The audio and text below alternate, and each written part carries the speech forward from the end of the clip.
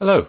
I'm very pleased to welcome you to today's webinar, where we'll explore two recent MRI accident case studies from the FDA MAUDE database. My name is Colin Robertson. I'm Senior VP with Metrasens, and we're very excited to be hosting this webinar with John Posh and Tobias Gilk. For those of you less familiar with Metrasens, we are the leading provider of advanced magnetic detection technologies. Our Ferroguard ferromagnetic detection systems are protecting patients and staff now in 36 countries around the world. Before I hand you over to John and Toby, I have a few housekeeping items to quickly cover to make sure we all get the most out of our time today. Firstly, today's session will be available on demand after this live version. Just follow the same link as you used just now, which will also be sent to you in an email you'll receive soon after this session. Of course, please feel free to share this with any of your colleagues who are unable to attend today. I would now like to quickly take you through the various parts of the screen you're looking at now. Starting on the left side is the Q&A window. We certainly hope you'll have lots of questions for our experts today. Please enter them here.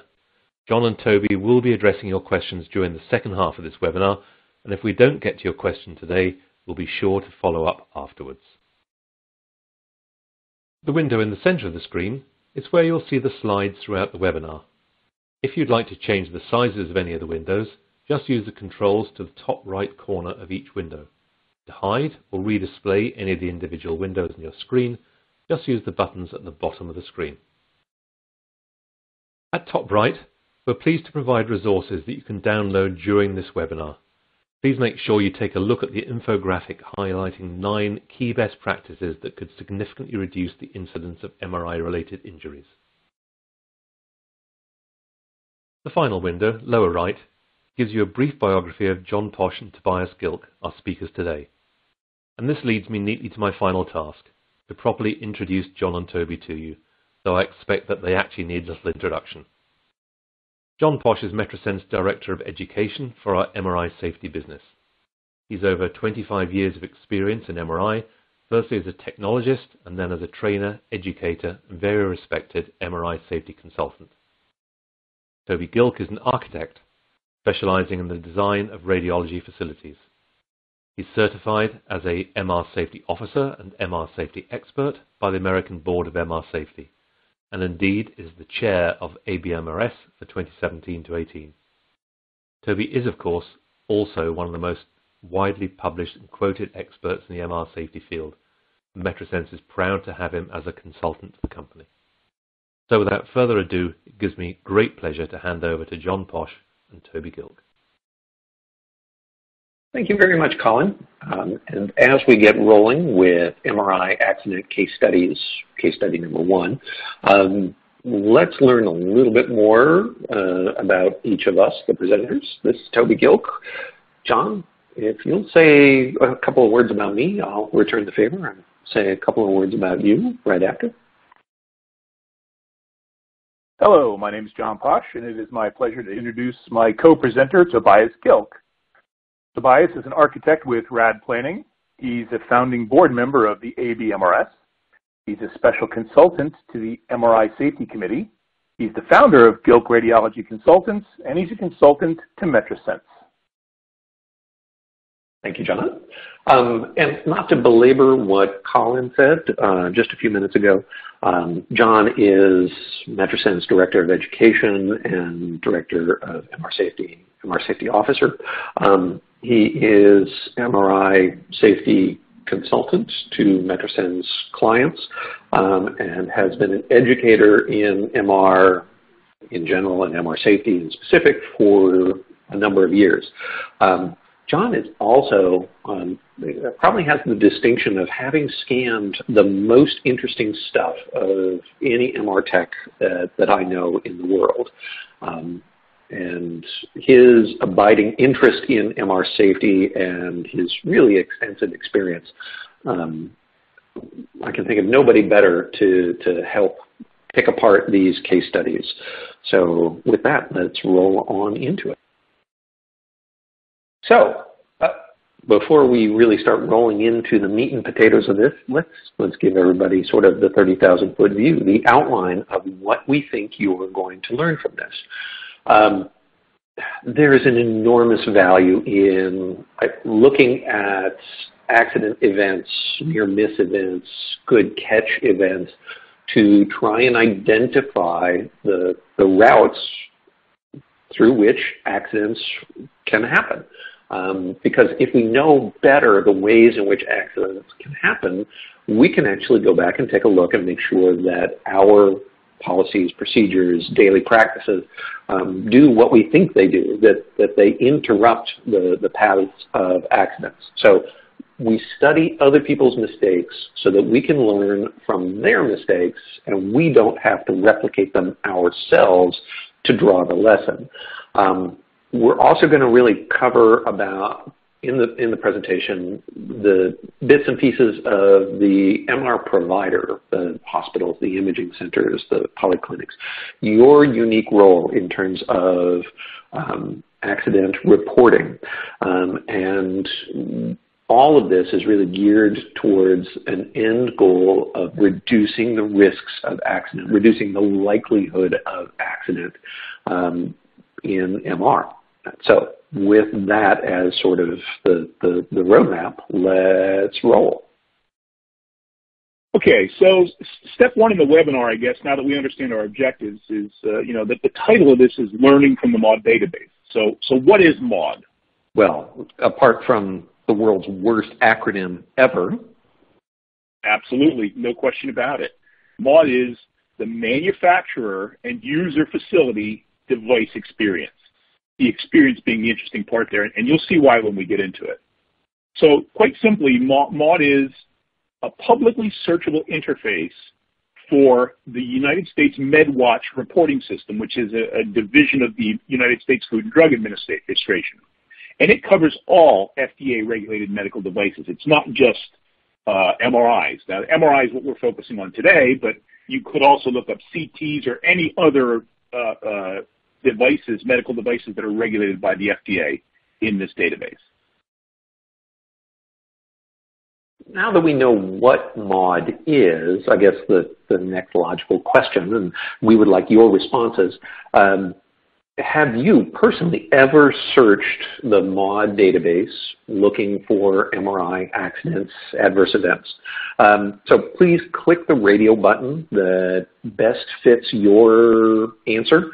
So if you have looked something up in the last few years on MAUDE um, specific to MRI accidents, click the first button. If you think maybe it was a long time ago, my memory's kind of fuzzy, click the second option. If you know you've never searched for an MRI adverse event report on the MAUDE database, click the last one. Nope. Um, you have to enter your responses on this screen. We'll give you just a minute more to select the ones that you want, and we will see what your answers are here in just a few minutes. the next one will give you a little bit less time because you will understand what, what this is and how it works, but uh, five, four, three, two, one. All right, and we're moving on. So this is the user interface page for the, the MAUDE database device experience. Um, the web access address is down below at the bottom of the slide for anyone that wants to check in this afterwards. So as you can see from the interface, it's, it's typically what you would expect from the FDA. It is comprehensive, it's detailed, it's just a little bit fuzzy around the edges, but in the end, it works really well. So you can search by product problem, so you can search device failure or, or device malfunction. You can search by product class if you know that or event type. Um, but in my experience, and I'm sure Toby would agree, the most common search criteria is always the date. Mm. So someone will put in January 1st, 2012, and and put an end date of December 31st, 2013, and then they'll have a you know a however long uh, summary of all the events that were reported. Now, you, you, need to filter it down by product code, which is MRI, CT, you know, whatever other devices. Otherwise, you're going to have a really large data set to sort through.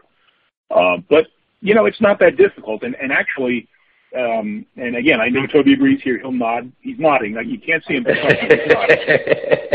and uh, So go into this, log in and, and do a test search. Just put it in for a, a one or two month period and see what comes up in MRI and look at the types of reports that are in there and the types of devices that are reported and that kind of information. Because, you know, as, as Toby said, one of our objectives in this webinar is learning your role as a healthcare practitioner in, uh, in reporting device, device complications or malfunctions or failures or device-related accidents to the FDA. So seeing samples of what's in there is going to be very important in your learning curve on how to do that.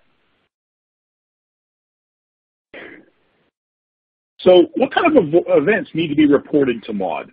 Well, it, it kind of depends on who you are. So um, manufacturers are required to report any device malfunction that results in death or serious injury or a device malfunction that did not result in death or injury, but could do so if that malfunction were to repeat itself. So yes, something broke, it didn't work as it was designed, but no one was injured. However, if that happens again, it could be bad. That is required to be reported. Now, device and user facilities, which is essentially everybody on this call, you know, the end users, the, the hospitals, the, the people who do the, the, the real work, um, important plug to us text, um, report to both the FDA and the manufacturer when we suspect a device-related death. If we suspect a device-related serious injury, that can be reported to either the FDA or the manufacturer. And it's uh, worth noting that these are sort of the, the, the floor, the minimum requirements, um, but obviously facilities, um, the more information we can share about adverse events and mishaps, uh, the better informed we will all be. Exactly, exactly. This is what has to be done, but there's much more that can be done. And, and as we know from everything related to safety, unless we take this ownership of this and we, we grassroots it, it'll never happen. So report everything. Let's get this database where it needs to be, and, and it'll, it'll benefit all of us. So as John was explaining what needs to get reported and how the what actually ties back to the who, who needs to report, let's break down their three separate categories of required reporting for FDA and the MAUDE database. And the first of those that we'll look at is manufacturers. Um, as John mentioned, if, if a patient dies as a result of a negative interaction with the device, the manufacturer has to report that. The other criteria, and this is one that's really bizarre for MRI, is device malfunction. Um, I say bizarre because projectile-related injuries, for example, of something that goes flying at the magnet or flying at the patient inside the magnet, um, that's not a device malfunction. That's the device acting the way it's supposed to. And in fact, if we look at projectiles and burns and hearing damage, the three most prevalent uh, MR-related injuries that get reported to the FDA, in most cases, those are because the device is functioning properly. Um, so when it says device malfunction, we in MR need to kind of reinterpret that. Um, even if it's not a device malfunction, but it is a specifically recognized hazard associated with the device, those are ones that should get reported. The second group that has a reporting obligation um, are importers. Um, this, as John mentioned when he was describing what MAUDE covers, and it covers all manner of medical devices. Um, so it might be talking about a urinary catheter that's imported from Bangladesh. Um, with MR equipment, essentially they're U.S. manufacturers, or even if the corporate headquarters are somewhere in Europe or Asia or whatever, it's a U.S. organization. The company has a presence here. So importers for MR, uh, at least in terms of the MRI device itself, is really not relevant to us. So we're going to skip past this. Which brings us to you, um, end users, hospitals, imaging centers, that sort of thing. Um, so, as John mentioned, if a patient dies or is seriously injured, uh, you as an institution have to report that to the FDA directly. Um, if there's the likelihood of an injury or a likelihood of an injury becoming serious, that can be directly reported to the FDA. Um, frequently, however, it is reported through the manufacturer, and then the manufacturer takes that information and crafts what becomes the report to the FDA. Those are the minimums. Um, as mentioned, anything we can do above and beyond the minimum to share information that helps other people prevent accidents is a good thing um, and something we would like to see much more of. So here are the results from the first popcorn question, a question asking whether you personally had looked something up an MRI adverse event on the MAUDE database. Um, oh, okay. Um, we will we'll, we'll, discuss this further during the Q&A session, but we wanted to kind of share with you what everybody's experience was. So thank you. And now we will move on. So so why is adverse, adverse event reporting so important? Well, that's simple. When mistakes happen, we need to learn from them for several reasons. Most importantly, by studying the mistakes made by ourselves and others, it gives us a better understanding of the causes of those mistakes so that we can identify areas for improvement, mitigate risk wherever possible, and put processes in place that prevent recurrence of these, these incidents. Uh, the key to this process, in my opinion, is the sharing of information. And on that note, it's important to remember two things. One, reporting an accident to MAUDE is anonymous and all your information is legally protected from discovery. You're not outing yourself. You're not putting you or your facility at risk. That is not the case. Reporting is safe and confidential. And two, reporting industry incidents is an industry best practice and failure to report could impact your facility's ACR accreditation. And our second audience feedback question, um, has your site ever reported an MRI adverse event or an MRI near miss good catch event to the MAUDE database? Either directly reported it to the FDA or reported it to your manufacturer or vendor uh, for them to report. So if you know, yes, we have, click the first option. No, we haven't, click the second option. Or if you're not sure whether you would even know whether an adverse event was ever reported at your site, click the third option. We'll give you just a moment more to finalize your selections. And okay, we are moving on. So let's jump into the first of the two case studies that we're going to take a look at here. Um, and this one is a burn event. And what you see on the screen, two things. One, the screen captured directly from the MAUDE database on the web, and so you see the results like you would see if you actually did the search. Um, and the second at the bottom is the URL that if you wanted to click and go directly to this event, um, there's a, an event ID number that allows for direct web linking. But the text on this is just way too small. Let's actually blow it up so that people can see it and read it. So here we've just simply retyped the information that you saw on the, the previous slide, and here we've retyped it so that it's actually legible, readable. Um, I'm going to give you just a moment uh, to read through this. Um, we're going to highlight some of the key things on subsequent slides, so if you don't get all the way through it, that's okay. Um, the long and short of this was, you know, a patient who receives a burn, um, sedated patient, large patient, wrapped in a sheet, Anyway, I'll give you just a moment to read through it, and then we will advance to the analysis piece of it. Jeopardy theme, just imagine it in the background. All right. And again, if you didn't get all the way through it, don't worry because we're going to highlight some of the key pieces of it um, as John takes over some of the analysis on our next slide. Okay, so now that everyone's had a chance to, to review the report, at least sort of summarily, let, us do a couple things. Um, I, when I look at these reports, I like to I like to list um, different factors, right? I like to look at the intrinsic factors of the event.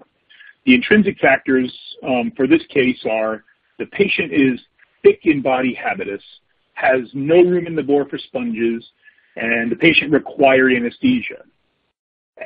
As a quick review, intrinsic factors are the things that are beyond our control, but we still need to take them into consideration. Just because we can't control them doesn't mean that they can't impact us at, at times quite negatively, as this patient found out. Um, so by, by listing them, I think it's it's better to it, it, allows us to better understand how they could be possible failure points. Um, then let's look at the extrinsic factors. The extrinsic factors in this case are the ones that we can control. Those are highlighted in green. The intrinsic were highlighted in blue. Sorry, I forgot to mention that little detail. The green ones are the extrinsics. Those are the things that we can control. Those are the steps that we may have taken to keep this patient safe. So this patient was mummified with a blanket and sheet, uh, and they were kept from touching the sides of the bore. And, and while those are good things, um, you know, they're, in this case, probably weren't enough. And that leads us to our last little category of analysis, which is highlighted in red. And these are what I call the false sense of security. So in this case, the scan was stopped to check the patient several times, and the patient was always covered with a sheet or a blanket. So uh, that brings me to a couple of two, two specifically critical questions. One, how did the site check a mummified patient for focal heating from near field or proximity effects? And two, how is covering a patient with a sheet or blanket an effective barrier to prevent burns? And that's the learning point from this. We then have to discuss this, and Toby, please feel free to jump in. Mm. Is a sheet or blanket an effective barrier? And is simply pulling the patient out and looking at them and asking if they're okay an effective countermeasure to prevent a near field or proximity burn? And particularly when the patient is sedated or anesthetized. Well, there's that. so, but so the, the, the takeaway from this is not for us to say this is what happened and this is why, because in truth, that's not really. Uh, while it's part of the goal of this webinar, our goal is not to say what exactly happened, what was right, what was wrong. Our goal is to talk about how we can learn from what was done before, how we can take this as an example and say, but I had a patient who required anesthesia and I wrapped them in a blanket as well, and that was that was how I made sure they were safe. Well, in truth, that's simply not enough. This patient suffered a near field or proximity burn, more than likely, um, which would not have resulted in local pain initially if that burn, if the energy was deposited in the subcutaneous fat where there are no nerve receptors, the patient would not have felt pain immediately. Uh, if they did feel minor discomfort, they wouldn't have been able to convey that because they were under anesthesia um, and that barrier that they put in place, that sheet of blanket, was clearly not effective. Uh, so that's our that's our sort of analysis of case number one. Toby, is there anything you'd like to add before we go on to like talking about the, the type of report and how this report is beneficial? And, and uh, we sort of give the report a grade, if you will. We'll get there. Yeah, that, I, I think you've hit on the major points. Um, uh, it's it's important that we understand what causation, what the routes of causation of accidents and injuries are, um, and not simply, you know, well, when I was trained, they told me to make sure there was a sheet between the patient and the bore wall. Um, if if you don't understand why somebody says there should be a sheet between the patient and the bore wall, um, then you really can't answer the question as to whether a sheet or a blanket is really the appropriate thing to prevent near field effect burns. Um, in this case, if you referred to your operator's manual, I think every single MR system operator's manual will say a sheet or a blanket is not sufficient to prevent near field effect burns. And that's why the systems are sold with um, bore wall padding um, and that there's a minimum separation requirement, um, sometimes as little as, you know, like five millimeters, half a centimeter, and sometimes as much as a centimeter depending on your system and the system requirements. Um, but, um, you know, you are not going to find a bed sheet or a single layer blanket that's going to get you that minimum separation. Exactly. So before we go further, uh, I think it's important that we kind of identify the particulars of the reporting circumstance.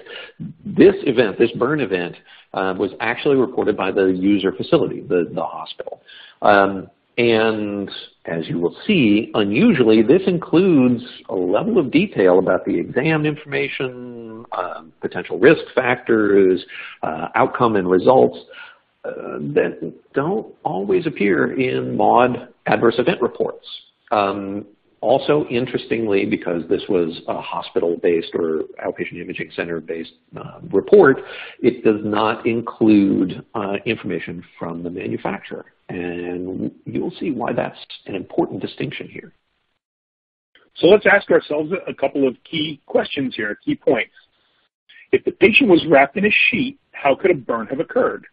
This is a discussion you should have at your site. So when, when, you're, when, when you take this information back to your site after today's webinar, you know, this is a discussion point. If the patient was wrapped in a sheet, how did the burn occur?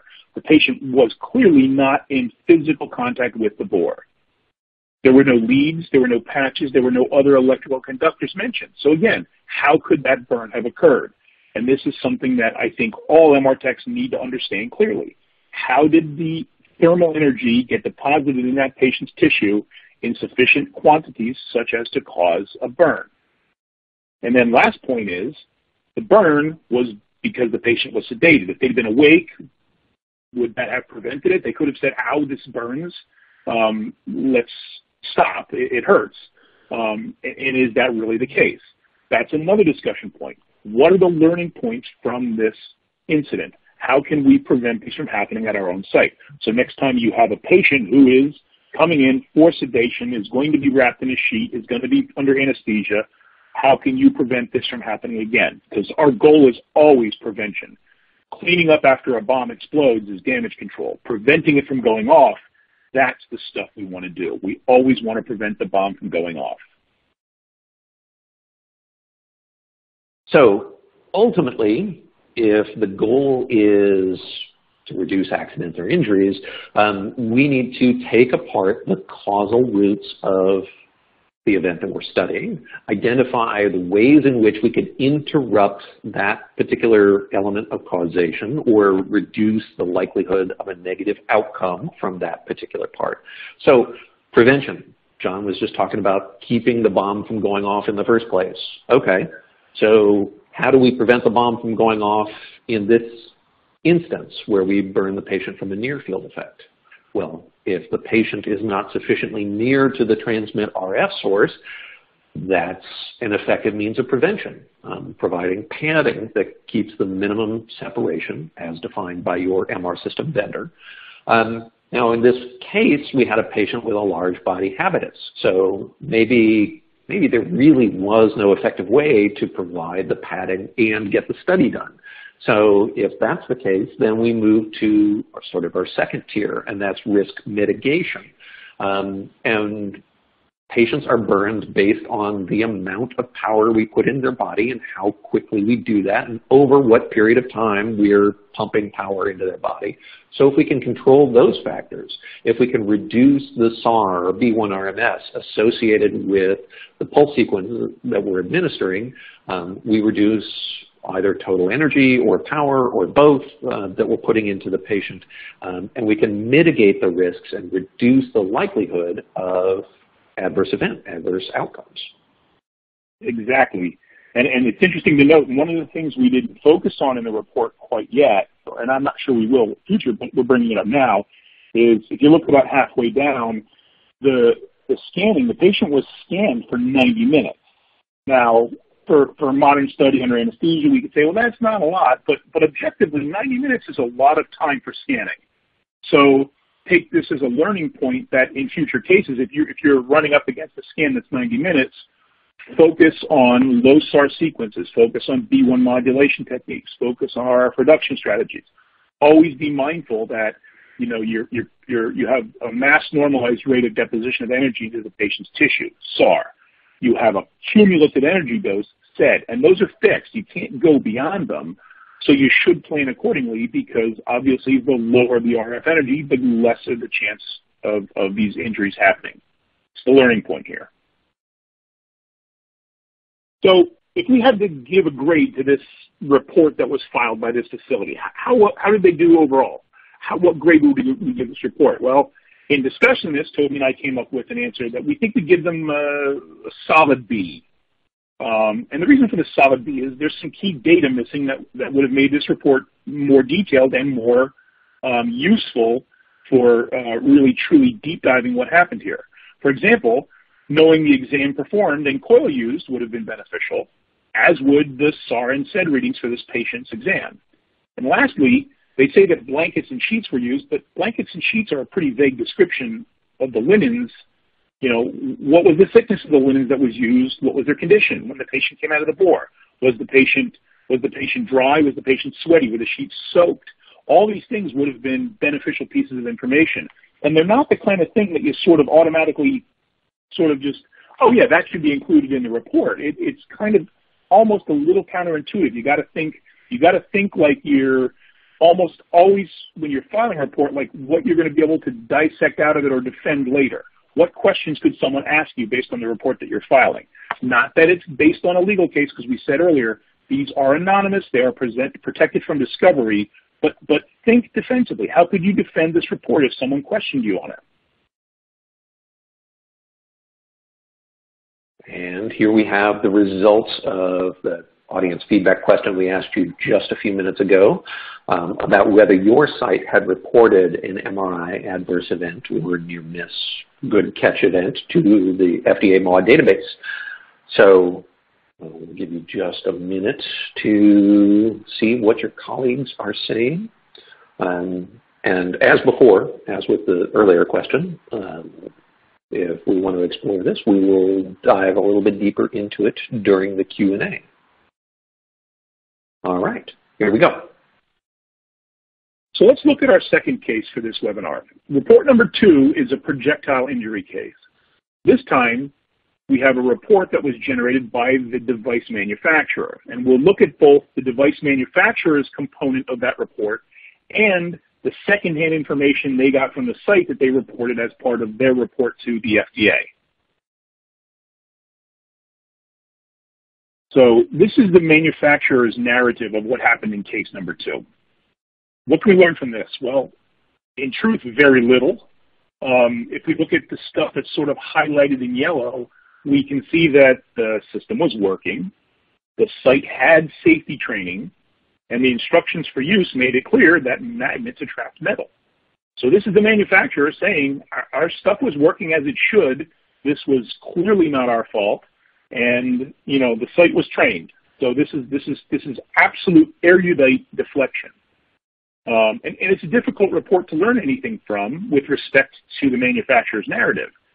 So we're going to have to take a look at the secondhand description of the events and see if there's anything there, because what we have from the manufacturer in the primary report is not real useful.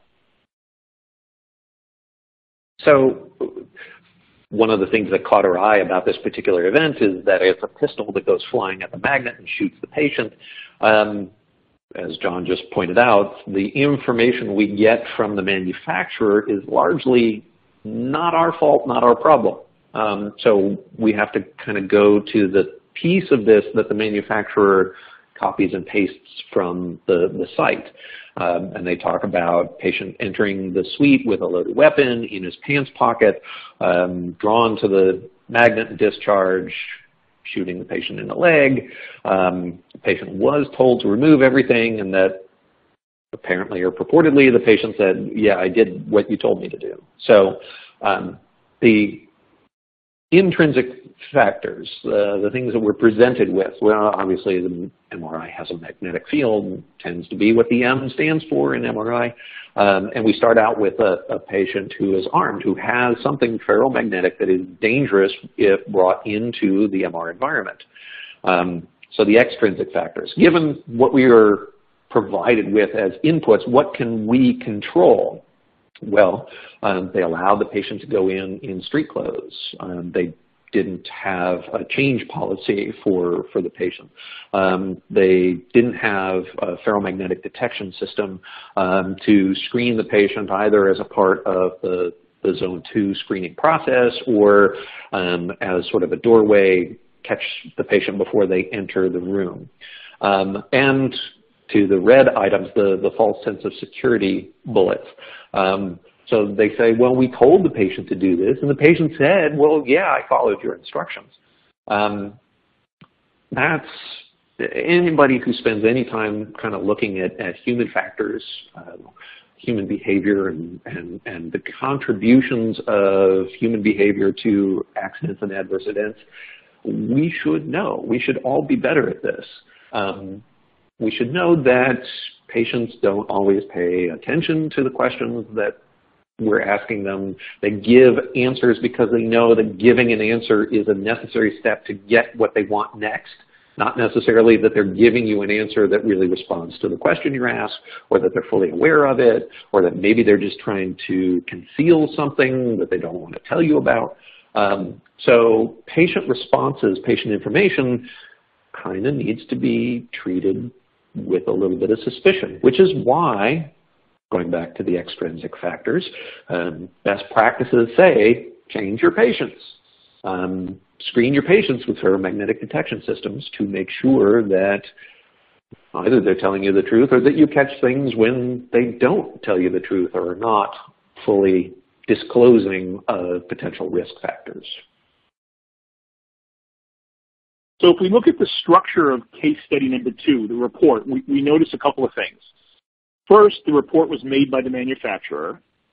It describes the event in minimal detail and leaves out key information. Secondly, it doesn't include any narrative or firsthand information from the user facility. As such, this, this report has a lot less information that we can use uh, based on facts, and we have to we have to learn from it in other ways. As we discussed in case one, in learning from any adverse event, the, the, key question should always be how can I prevent this or at least how can I lower the chances of it happening again? So in case two, we, we really don't have a lot of facts, but we can make some inferences, and in this case, the inferences are fairly effective. First, it really is an industry best practice that all patients be screened for the presence of ferromagnetic material and changed into hospital-supplied scrubs or gowns. There is no facility that could argue against that as a best practice. Now, the site claims the patient was screened and either forgot about or chose not to disclose that he was carrying a weapon. Um, if the patient was properly attired and the screening process included ferromagnetic detection either in zone two uh, as a patient screener or zone uh, three to detect ferrous objects approaching the zone four door as recommended by the ACR, this event would most likely not have happened. So in this case, we have the countermeasures in place, right? We know how to how to prevent or mitigate devices incidents like this from happening. We just have to stick to our own best practices, and I think that's that's an incredibly important takeaway point from this.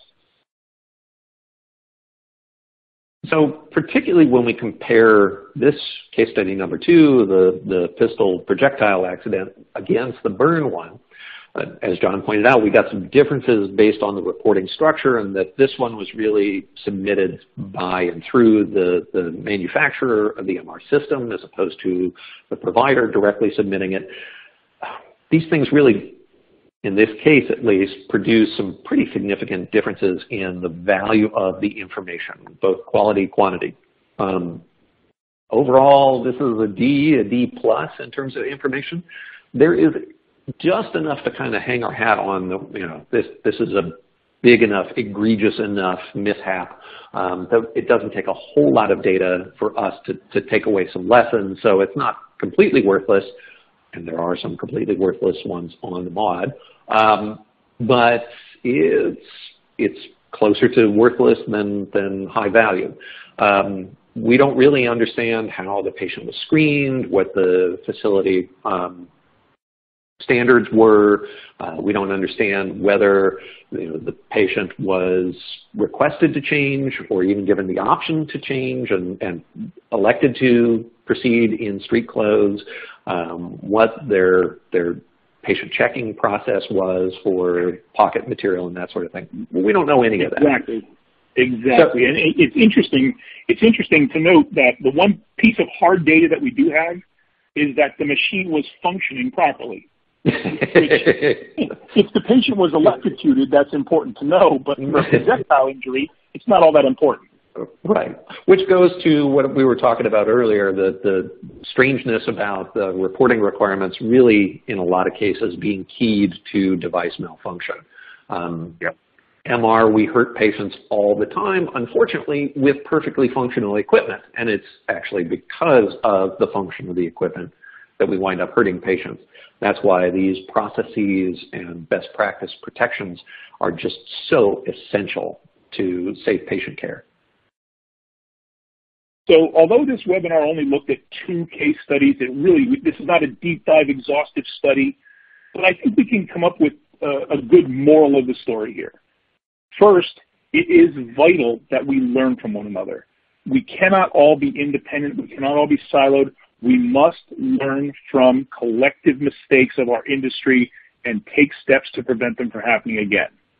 Second, we can absolutely provide a fuller event understanding if sites report MRI safety events and near misses, what we also call good catches, because it really isn't a near miss, it's a good catch. Something didn't happen. Um, and if we provide more rich data, more details, more of the kind of things that we as users of this equipment and, and the people directly responsible for patient care need to know, the database can in fact become a much more useful tool. So in wrapping up the, before we get to your, your questions, um, I think it's just really important that we thank you for taking the time from your schedule. Nobody gets paid to, to, to learn about other people's mistakes. These are things that we take on because of our professional responsibility. So thank you. Thank you on behalf of Metrasens. Thank you on behalf of Gilk Radiology Consultants. And with that, we get to possibly the most anticipated part of this. We would like to take your questions.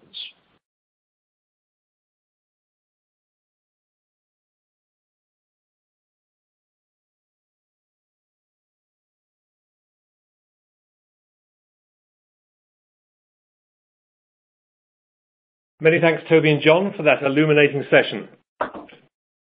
Before we move on to the Q&A, I just want to ensure that everyone has noticed the resources area at the top right of your screen. Please do download the valuable infographic that highlights simple risk mitigation factors that address most frequently reported MRI adverse incidents, including the sort of things we've been talking about this afternoon.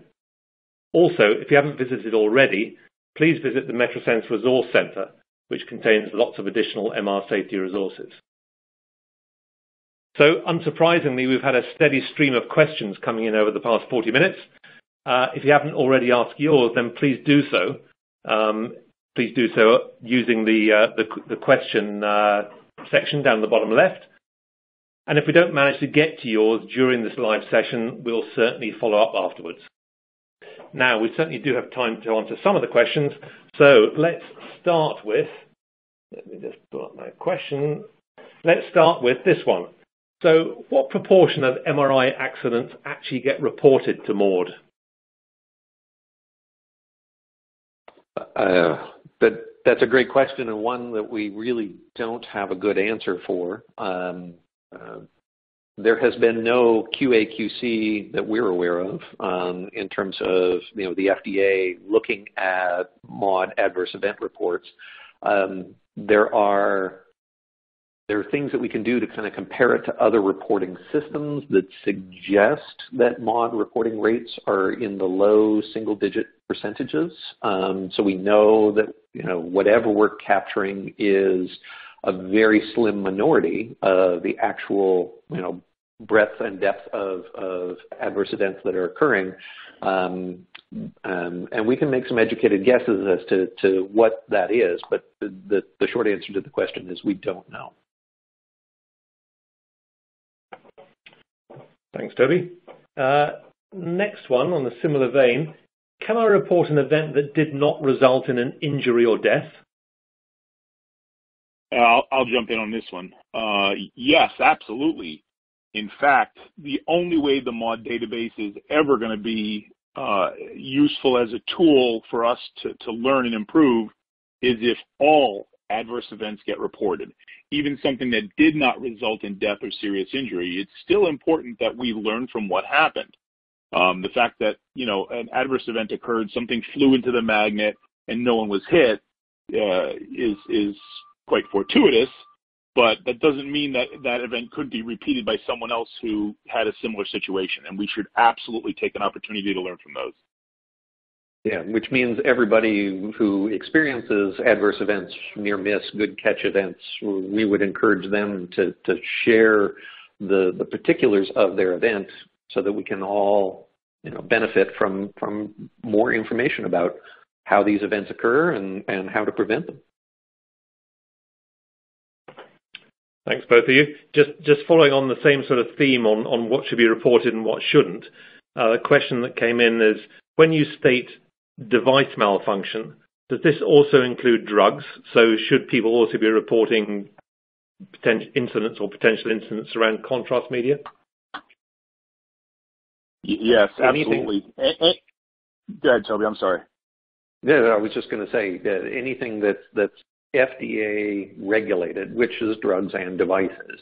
Now, the MAUDE database, the medical device recording database that we see MAUDE as the output of doesn't that database doesn't capture the the drug side of things. They're kind of two sides of the same coin. Um, but yes, if there are any adverse events uh, associated with the use of FDA approved drugs, uh, those ought to be reported as well. Thank you. Uh, okay, we've had a number of questions about how people use the MAUDE database and how people get access to the data. Um, one of the things that we're getting frequently asked is uh, people during the webinar have been trying to uh, to do a search, as you suggest, and somebody's asked, not able to find any accidents when I enter either MR or MRI into the product code. Does this mean there weren't any accidents during that period, or, or am I doing something wrong? um, there most definitely were MR accidents uh, in any period more than you know a few days. Uh, that hundreds of them get reported annually. Um, the, so the product code, um, the FDA uses a three-letter designation for every FDA-approved medical device. Um, and one would think, logically, the three-letter product code for MRI would be MRI. Um, Unfortunately, the FDA doesn't agree with that logic, um, and so the three-letter product code for MR devices is LNH, Larry Nancy Henry. Um, so if you are running your search and you define, you know, the particular types of accidents you're looking for and the date range, to get just the MRI adverse events, you need to put in LNH as the product code. Thanks very much, Toby. I think that's going to be really useful to people. Um, next one, uh, thinking about um, what people report and what people don't report, a question that's just come in uh, in the last couple of minutes. Do you have to ask permission from the hospital before reporting a near miss?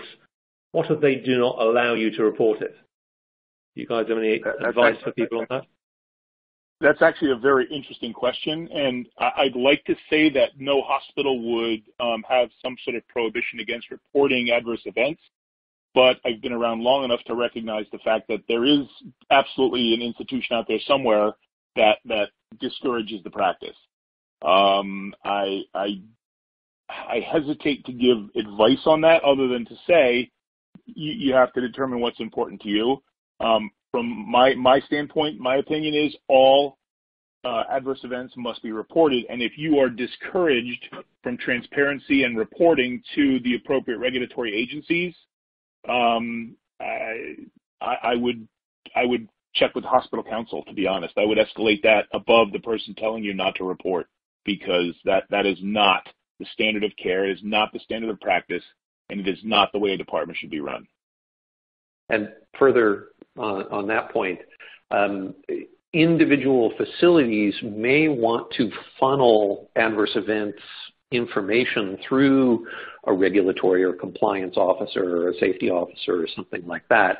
Um, so apart from the question of does a facility actively discourage adverse event reporting, the facility may want to make sure that they institutionally have their arms around scope and nature of different problems, and therefore may want adverse event reporting to go through a single office. Um, uh, as John said, with the question of do you report directly or not, um, this is another one where I think it's important to identify your facility's process and procedure uh, for it, and that may require um, having a conversation with your compliance officer. Okay, many thanks. Um, we have a number of, a good number, I think, of, uh, of uh, people who have joined us from outside the US, uh, a number of people from Europe and elsewhere.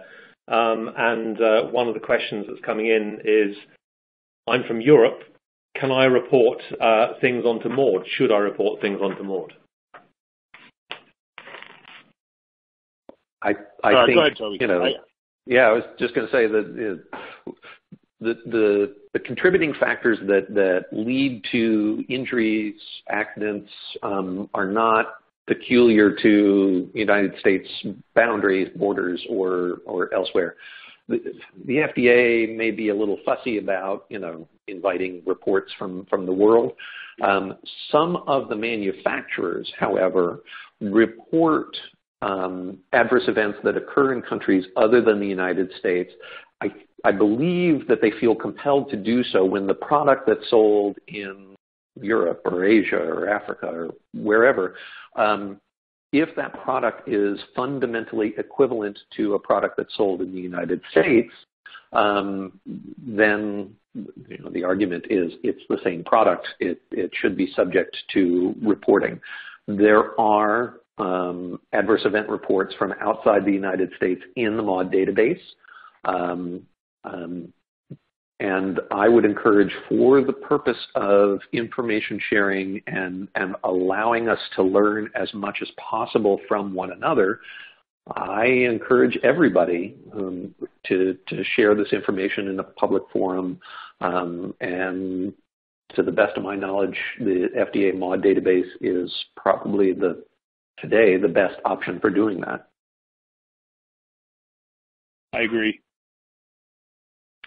Thanks, Toby. Um, next one. What are the most common MRI adverse events?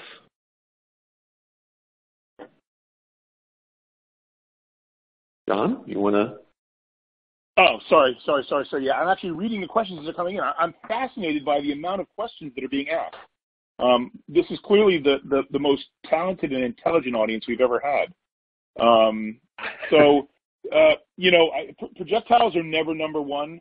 Projectiles happen on a somewhat regular basis. When they when they go public, they tend to uh, be big news because they tend to be the larger things that are harder to hide. Um, but lots of small projectiles happen on a daily basis. You know, paper clips, small pocket things, those kind of things go in on a regular basis. They're just no one talks about it. They're removed by hand and, and you walk away whistling and pretend it never happened. Um, in terms of what gets reported most to MAUDE, um, if my memory is correct, it's, it's burns with, with the hearing loss being a close second. Um, Toby, if you have a different opinion, pop, please pop in. But the, the interesting thing about these, and if you if you look at, regardless of how they're explained and how they're reported and the details that's provided, the thing about hearing injuries is they are 100% preventable simply providing the patient with hearing protection in the form of appropriate earplugs and or noise dampening headsets will eliminate all burn, all, all hearing incidents. There's no reason not to do that. With burns, they are virtually 100% preventable with proper positioning, proper padding, and proper isolation techniques so that the patients are thermally and electrically isolated at all times. Um, so it, it's burns and hearing loss, um, and and they're the top two reported events are 100% preventable. This is this is you know it's it's really mind-boggling how we still have these discussions yet we do on a daily basis. Thanks, John. Um, lots and lots of questions specifically around the case studies. We've only got a few minutes left, but just just to pick up on a couple of them, and we will get back to all the other questions that have been asked after this after this event.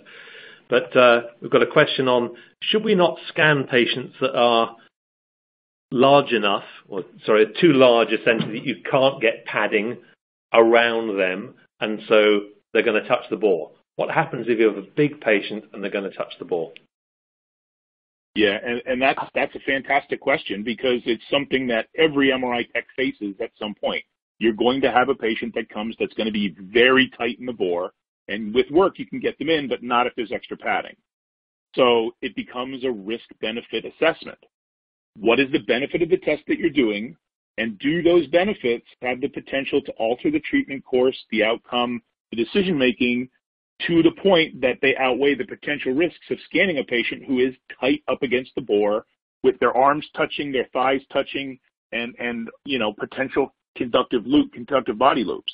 And that's a decision that you have to make in conjunction with your radiologist. In, in truth, the radiologist makes the, the decision, but they're going to get the information necessary to make that decision from you, the technologist. And we should probably also mention that it's not simply a, a you know a stop-go type of decision. Um, as we explored in the case study that we looked at, if the decision is to go forward, if there's a compelling reason you know to go forward with the exam, um, there are things that we can do to mitigate the potential harm as a result of it. If we have a large patient and we decide, yeah, this patient really could benefit from this study, um, it's not simply throw them in the bore and, and do your canned um, pulse sequences. You may want to tailor the pulse sequences and reduce the total RF energy deposition which will, excuse me, will reduce the potential for thermal injury. If we're just putting less energy into the patient, there's less of an opportunity for it to concentrate um, in, in the body of the patient and cause an injury. So uh, the the degree to which we have control over some of the factors should really play into um, the, the risk-benefit decision because there are extrinsic factors and there are intrinsic factors um, um, and manipulate and, and, and work with everything that you can to, uh, to reduce the potential risk of harm uh, for that patient. Agreed. Thanks both for that. Um, and just we've got, I think, just time for one more question. Um, and I'll just take a question from uh, related to the second uh, case study that we talked about. Um, and the question is, should all patients be wanded with a metal detector before going into zone four? Uh, well, excellent question. Um, wanding with a metal detector is a very dangerous statement because metal detectors are specifically not approved for use uh, for MRI. What we're talking about is ferromagnetic detection only. Those are the ones that are approved. Secondly, with respect to hand wands, a hand wand is less effective for screening a patient um, than a whole body screener. And the reason for that is they have a smaller area of sensitivity. It, it, there's a large inter-user variability um, for reproducibility, and they quite simply can't cover the entire patient's body. They're, they're a little invasive. You got to get real close to the patient, spend a lot of time they're useful for um, uh, characterizing known implants, but that's really the extent of it. So wanding patients before they go in is not generally a, good idea, in my opinion. I, I prefer a whole body ferrous-only detection system. Okay, thank you very much. Okay, folks, well, I'm afraid we've got to the end of our time today. Um, so I'd like to say, first of all, huge thanks to, uh, to Toby and John and, and a big thanks, of course, also to everyone who's joined us uh, on the call today. We're going to make this MAUDE MRI safety case study review a regular event. Um, so we're looking to do it uh, quarterly at least. Um, so please look out for an invitation um, for the next one. You will receive an email later today with a link to join this webinar again on demand. So, uh, and, and please do forward that to any of your colleagues who might have missed out on this live session. Many thanks again and uh and goodbye until next time.